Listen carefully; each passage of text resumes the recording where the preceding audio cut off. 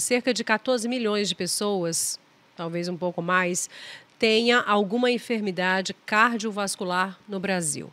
No Acre, como é que está essa estatística? Jô, não está diferente. Uhum. É, o panorama de, do, do, país em desenvolvimento, dos países pobres né, em desenvolvimento, está é, tá muito complicado.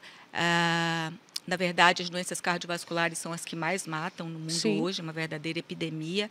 Mata muito mais, duas vezes mais que câncer ainda hoje.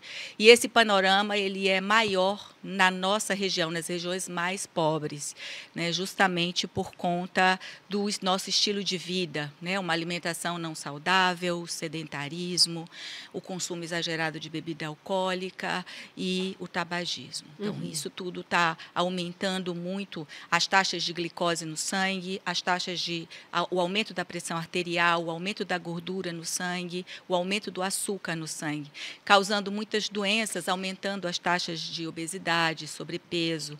Hoje, no Acre, cerca de 60% da população está com sobrepeso ou obesidade.